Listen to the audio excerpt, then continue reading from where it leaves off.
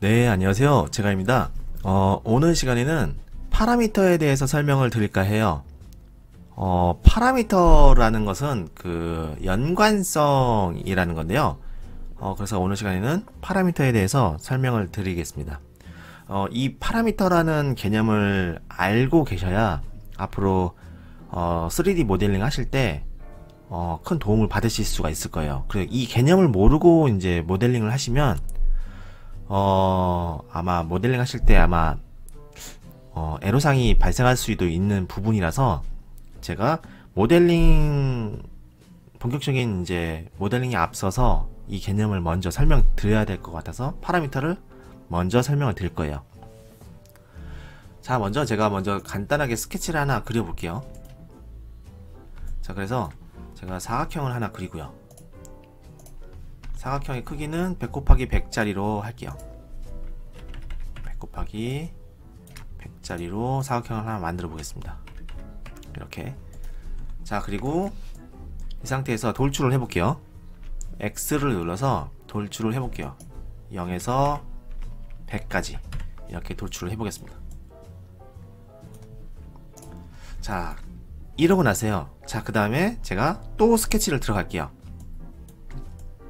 제가 이 윗면 이 블럭의 윗면을 이용해서 스케치를 다시 들어가 볼게요. 자 그리고 이 스케 다시 한번 사각형을 그릴 건데 제가 이번에 스케치는 이 블럭의 끝점 이 끝점을 이용해서 사각형을 그릴 거예요. 크기는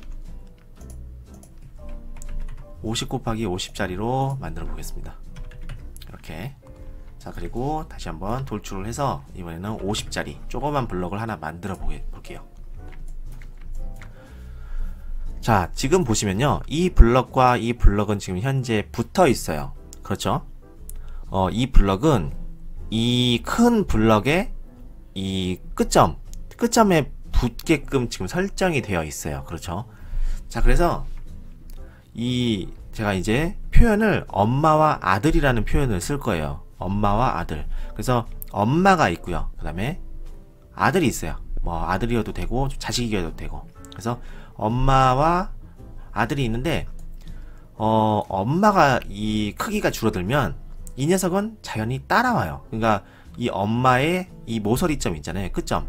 끝점을 얘는 무조건 따라오게끔 되어 있어요. 왜냐하면 이 스케치를 그릴 때부터 이 끝점을 이용하게끔 제가 어, 끝점을 이용해서 그렸기 때문에 그래서 제가 이거를 크기를 좀 줄여볼게요. 예를 들면 요거를 한 70 곱하기 70으로 바꿔볼게요.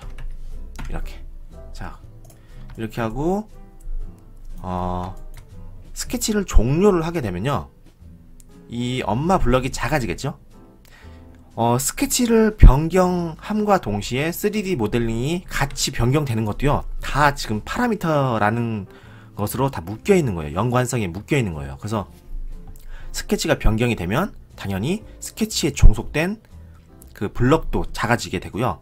이 블럭에 연결된 다른 아들 블럭도요. 따라가게 돼요. 이 모든 과정이 전부 파라미터라는 연관성 때문에 그렇습니다. 그래서 이 상태에서 스케치를 종료하게 되면요. 이 녀석은 엄마의 끝점을 따라서 따라갈 거예요. 이렇게요.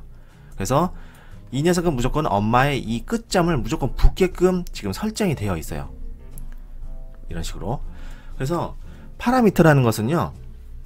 어, 연관성이기 때문에 어느 한 요소라도 이용을 하게 되면요.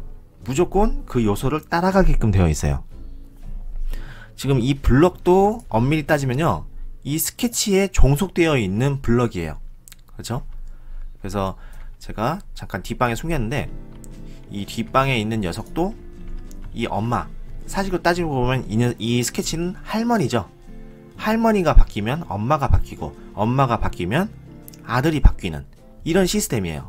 모든 어, 모델링은요 다 이런 식으로 되어 있어요.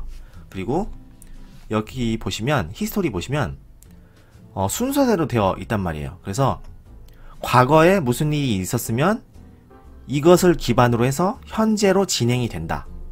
이런 식이에요. 그래서 우리가 살고 있는 지금 세계, 과거에 어떤 일들이 벌어지면 그 현재를 현재에 어떤 그 영향을 미치잖아요. 과거에 있던 일로 해, 인해서. 그래서 어 이거는 우리가 살고 있는 시간 타임 스탬프와 어, 관련이 있어요. 그래서 무조건 일의 순서는 어, 시간의 순서대로 시간의 순서대로 이렇게 진행이 되고요. 갑자기 뭐 아들이 먼저 태어나고 엄마가 태어나고 그런 건 안 돼요. 그래서 무조건 시간의 순서대로 진행이 된다는 것을 알고 계시면 돼요. 그래서 파라미터라는 것은 연관성이라서 내가 어떤 한 요소라도 점이라도 이용을 하게 되면 무조건 거기에 종속이 된다. 라고 보시면 돼요. 이해하셨나요? 어, 그래서 파라미터라는 거는 이렇게 연관성이라는 것을 이해하시면 되고요. 어, 여기서 보시면은 remove 파라미터라고 하는 명령이 있어요. 여기에 remove 파라미터라고 하는 명령이 있어요. 이거는 파라미터를 제거하겠다는 뜻이거든요. 그래서 어, 어떤 분들은 나는 이런 연관성이 너무 귀찮아. 그래서 나는 이게 없어졌으면 좋겠어 했을 때 remove 파라미터라는 명령을 사용하게 되는데 저는 사실 이거를 그렇게 추천드리지는 않아요. 그렇지만 필요에 의해서 나는 파라미터가 필요 없다. 그러면은 이걸 이용해서 파라미터를 제거를 해주시면 됩니다. 그래서 전체적으로 삭제를 해주시고 OK를 누르게 되면 얘가 이제 최종적으로 경고창을 하나 날리게 돼요. 정말 지우시겠습니까? 물어봐요. 이걸 지우게 되면 어떻게 되냐면 우리가 했던 이 history들, extrude, 뭐 스케치 이런 것들이 이제 다 따로 연관성이 하나도 없어지고요. 그냥 body라는 형태로 남게 돼요. body는 아무런 연관성이 없는 history로 남게 됩니다. body라는 형태로. 그래서 OK를 누르게 되면 이렇게 body 1, body 2 이렇게 두 개가 남고요. 그 다음에 스케치 두 개가 남는 거예요.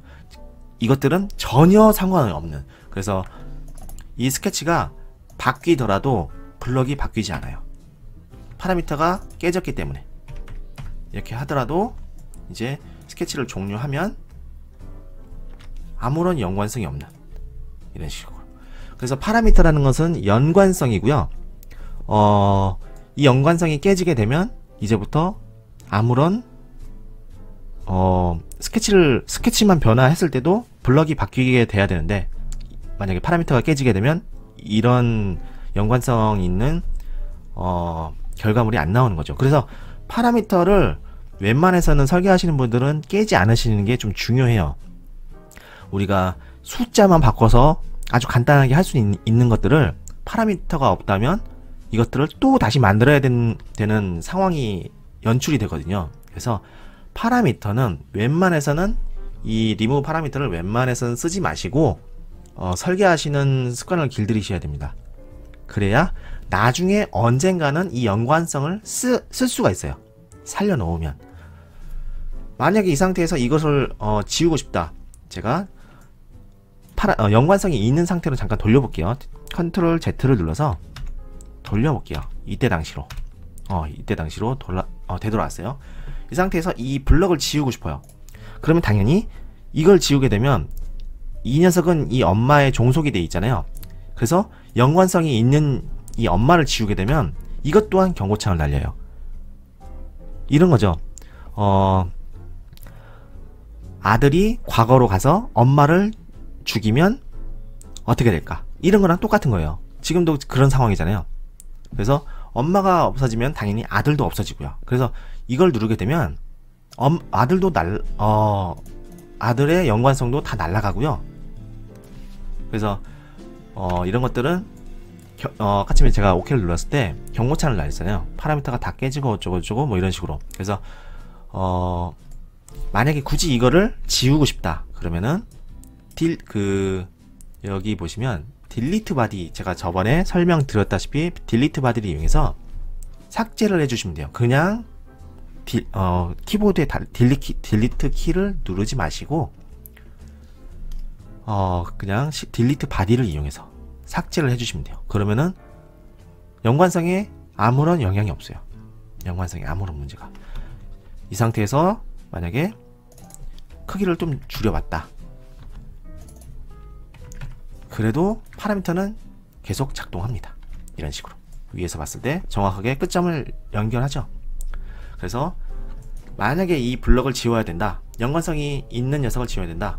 그러면 delete body로 지우시면 돼요. 굳이 꼭 키보드에 있는 delete 키로 지우셔서 뭐 파라미터를 깨지는 일이 없게 하실 수가 있어요.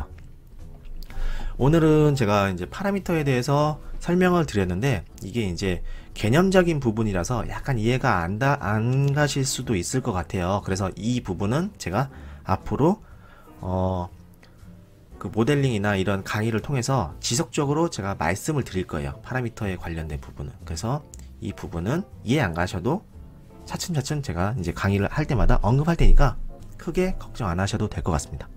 오늘 시간은 여기까지입니다. 저는 다음 시간에 뵙겠습니다. 감사합니다.